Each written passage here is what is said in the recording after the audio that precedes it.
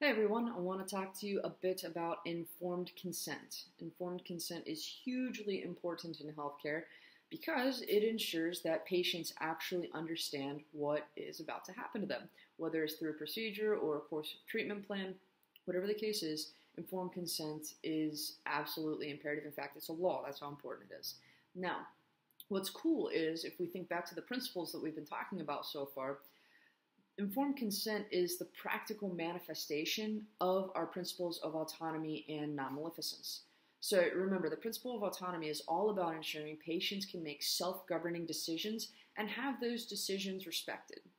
So, by informing patients what the risks, benefits, and alternatives are to a given treatment, we're ensuring that they're making the most informed decision that they can. Now, with the principle of non maleficence, essentially do no harm, Again, this ties back into the patient's autonomy. We want to make sure that we're not harming the patient physically or existentially by, by um, violating their personal beliefs and values with a given treatment plan or specific intervention. So, uh, the principle of autonomy, if you recall, is grounded in John Stuart Mill's uh, principle of utility as well as the harm principle and Immanuel Kant's end in itself formulation. So, this might be a good time to review those. Now, why is autonomy so important and why is informed consent so important is because it helps us avoid paternalistic actions in healthcare. So, paternalism is essentially it's it's an old word. It's a gender biased term that essentially means acting in a fatherly manner. So, in uh, when we think about it in terms of its original definition, uh, we have a father who benevolently makes decisions on behalf of his children who need someone to step in and make decisions for them because they're not well informed enough to make their own decisions. Now, the analogy with healthcare goes is that in many cases in the past, uh, physicians would act in a paternalistic way insofar as they would make decisions on behalf of the patient because the physicians were in fact the experts. The patients were not the experts in medicine and what they needed for treatment. But in choosing for the patient and not allowing the patient to choose for themselves, it's taking all decision making authority away from the patients, and there's no way to know if the physician is actually making a decision that is in line with the patient's network of beliefs. And we want to make sure that we don't violate patient values and beliefs, right? Because that can be very traumatic for an individual to endure. Now, when it comes to informed consent, again, that is a way to safeguard against paternalism, and it is a way to promote inform or promote the principle of autonomy here. So, informed consent. How does this break down? Well, informed consent essentially ensures that we get permission from a patient um, to pursue a specific intervention or course of treatment. Now, informed consent can be both um, implied or it can be expressed through writing. So there's a difference here that's important. So, traditional informed consent is when the physician explains to the patient what's going to happen. In a given procedure, the patient acknowledges risks, benefits, and alternatives and signs the form agreeing to undergo that procedure. So that's traditional informed consent. Now, implied informed consent is a little bit different. So every time you go to your primary care physician, you don't have to sign a form that says, I am willing to be treated by my PCP at this time.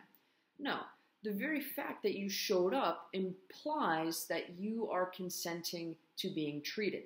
So that's important. So every time you go for any sort of preventative care measure, anytime you go to the ER, anytime you go to urgent care, you're by showing up, you are consenting to treatment.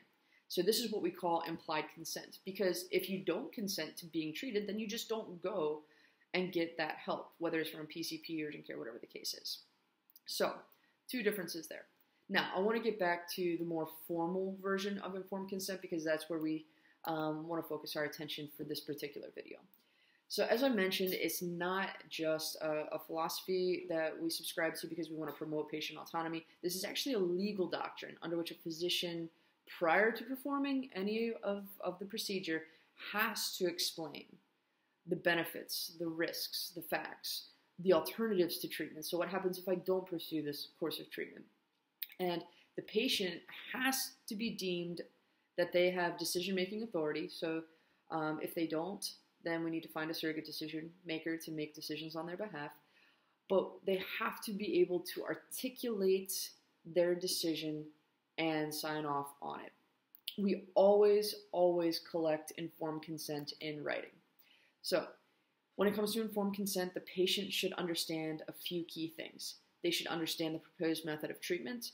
They should understand why the treatment is necessary. We should never be having unnecessary treatments, right? That's uh, not being good stewards of resources and puts the patient at unnecessary risk. Speaking of risks, the patient should understand all risks involved, and they should also understand all alternatives and the risks of those alternatives. So, that also includes what happens if no treatment is pursued or if treatment in this case is refused. So the patient should have a very robust understanding um, of the, the big picture aspects of, of this treatment or intervention. So I want you to think back to your own personal experience that you've had with patients and ask yourselves whether the physician or whomever was uh, collecting informed consent actually ensured that the patient understood the ins and outs of the procedure they were about to undergo. Chances are there uh, are some great examples of people getting really good informed consent, and in some cases, the patient was handed a piece of paper on a clipboard and told to sign it. That's not good informed consent, but it does happen. So, as good critical thinkers and good ethical leaders, we want to ensure that our patients are informed. So, there is never any harm in asking the patient if they actually understand what's about to happen to them. And if they don't, encourage them to ask any questions before they sign that document. Now, uh, if you check out the PowerPoint, you'll see some examples of informed consent documents and some of the uh, information that is typically included in those documents. Um, that's a little bit beyond the scope of what we're going to talk about today. I want to focus on uh, the big picture elements, not necessarily the, the individual details. So, depending on what textbook you're reading, um, every textbook suggests there's different num- a different number of elements for informed consent. Uh, the text that we're using suggests that there are seven important elements for informed consent. So, again, I, I like this because these seven make a lot of sense and they pull out some of the sub steps that other texts might just um, either ignore or um, conflate with something else. So we're going to look at seven elements of informed consent, and if these elements are met, then we know that we've done our due diligence to our patient for our patients, and they are making a decision that is in line with their values and beliefs. So these seven elements. First and foremost, we have competence, and that is the ability to understand and decide. Now we've talked a little bit about this already. So this means that you have to be able, that the patient has to be able to understand the risks and the benefits and the risks and benefits of the alternatives. They have to be able to make a decision about these risks and benefits, and they have to be able to articulate that decision. If they can't do those things, then competence is called into question. Now, the second element of informed consent is voluntariness. So, voluntariness is hugely important because we don't want to coerce people into making a decision that they're not comfortable with. We see coercion in healthcare from time to time.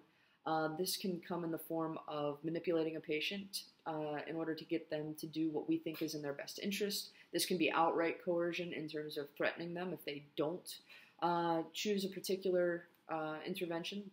Um, this can also come in the form of manipulation through information management, right? If we paint a picture using only specific aspects of the information, we can lead someone to a particular decision as opposed to providing them all of the information relevant for making a decision. So in healthcare, we typically don't see outright coercion uh, from healthcare professionals. You might see that from family members, uh, but we do see coercion in the, or we see, um, shall we say, uh, overt persuasion in the form of information manipulation.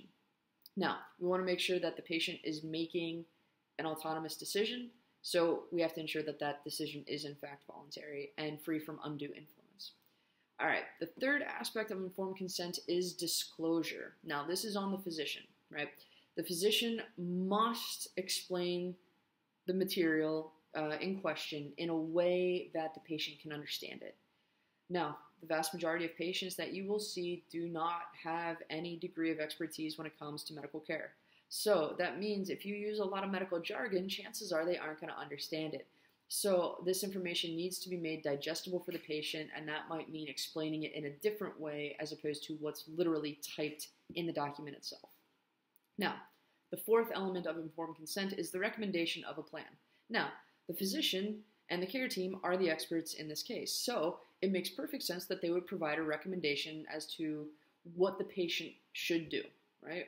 What course of treatment will best remedy their malady, right? How do we get you better?